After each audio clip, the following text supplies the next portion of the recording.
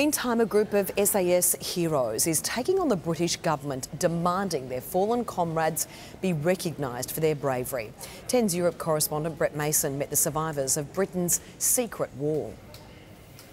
The 19th of July 1972, a day forever etched in history as one of Britain's greatest military victories. Nine outnumbered and outgunned SAS soldiers defeating more than 400 insurgents to hold Oman and ultimately the West from communist control. And they were the bravest men on God's earth. They just kept coming and coming and coming. But while Operation Storm has become the stuff of legends,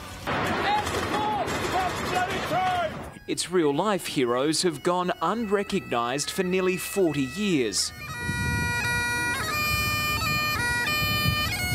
Warriors like Fijian Sergeant Talaiasi Labalaba. Despite multiple wounds, he single-handedly fired the unit's only artillery, fighting an unrelenting enemy to his death, almost certainly saving the lives of his comrades. To fire a gun, a 25-pounder gun which needed a crew of four, over open sights on his own for an hour, get wounded and still fired it, I think that's above and beyond the call of duty. That man should have had a VC, no hesitation. Do you think you could ever meet a braver soldier than your friend? Never, never.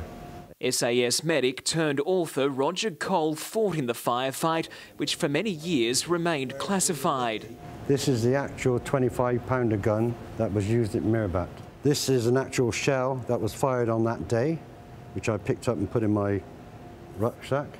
As you can see on this armoured plating, the holes are everywhere.